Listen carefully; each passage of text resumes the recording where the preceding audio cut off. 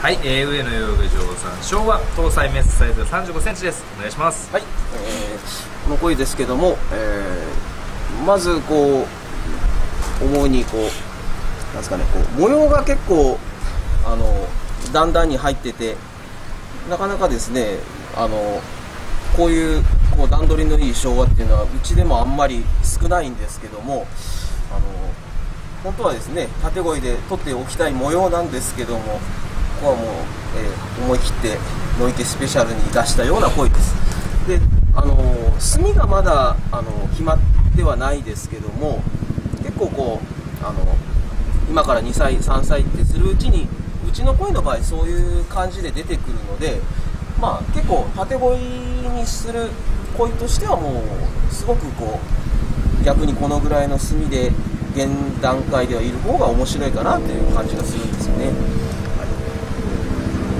はい、墨の変化が楽しめる声ですね多分ね。ですね。頭のこういうところにも多分どんどん出てくると思いますし、はい、こうまあ、肩が少しありますけども、えー、こうこういうところが決まってきてくれると非常にこう見た目が良くなるんじゃないですかね。はい。それでは横の方もお願いします。はい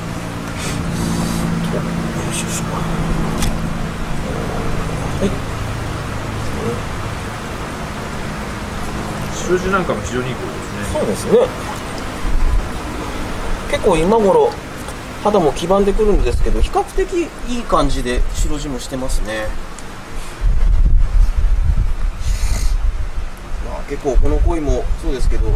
体型の流れもすごくいいと思うんですよね。頭も結構長いですし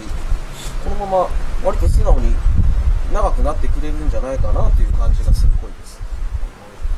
非常に張りのある鯉ですね、うん、やっぱ鯉もですね。やっぱりこう幅とかそういうのはですね。やっぱこう体系的な持って生まれたものもやっぱあると思うので、うん、こういうふうにこう細い感じよりは少しやっぱ幅があるかなっていう方がいいと思います。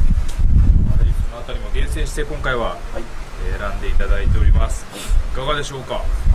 これもおすすめの鯉なので、えよろしくお願いします。はい、サイズの方が3 5センチになります。ぜひよろしくお願いします。はいお願いします